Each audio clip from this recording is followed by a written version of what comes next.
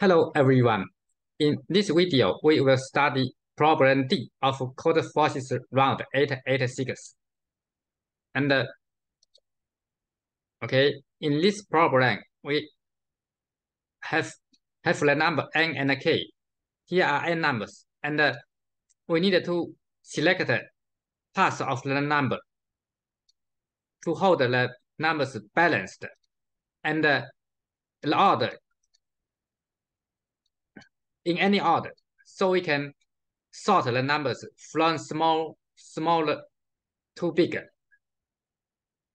Okay, now for the test case, and the data is already sorted. So this number satisfies the condition, and the least numbers satisfies the condition, and the max length is the second numbers. So it's three. And we need only to remove m minus max length.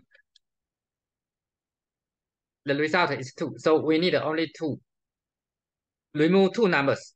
Okay. For the second test case, because it has only one number, so the max length is one. And the n minus max, max length, the result is zero. So we remove zero data. And for the second test case,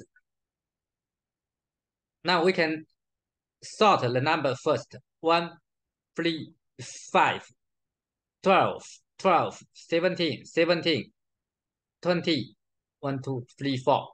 Here is the eight numbers by ascending order. Okay, now the two neighbor numbers, the difference of the neighbors can't be greater than three. Okay, so this is okay. This is the first numbers, and this is the second numbers whose difference is not not greater than k. k. Okay, and this is the last numbers whose difference is not greater than k. So the max length, the max length is three. We can choose the first numbers or the last numbers. So we need to move n minus max length equals five. So the answer is five. Okay. Now we don't need to study the re the rest numbers is the same. Now we can code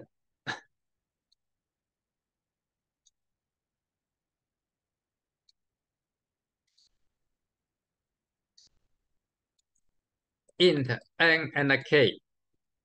Input n and k. Now we need an array int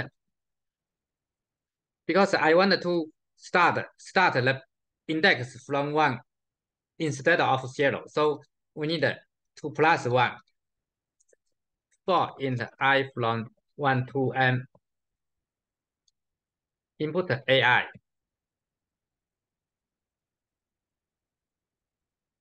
Now we sort the number by ascending order.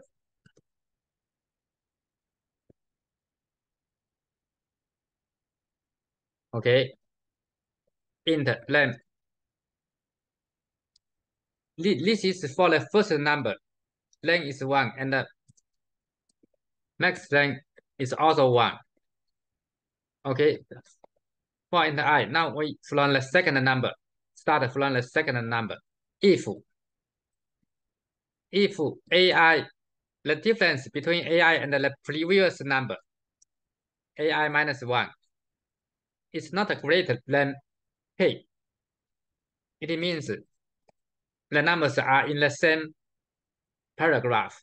The, so length increase and uh, now the length may be greater than the max length. So we can update the max length. Max length. Okay.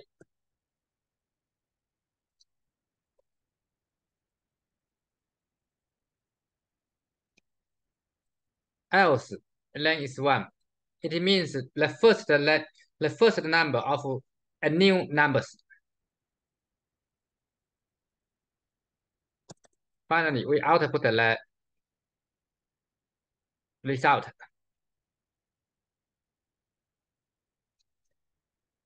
Okay, no grammar error. Now we can test this code. Okay, here the first result is is two. It's okay. The second answer is zero. The third is five. Okay, and uh, now zero three one three zero three one four, not four. Okay, it's the output result is correct. And now we can submit the code.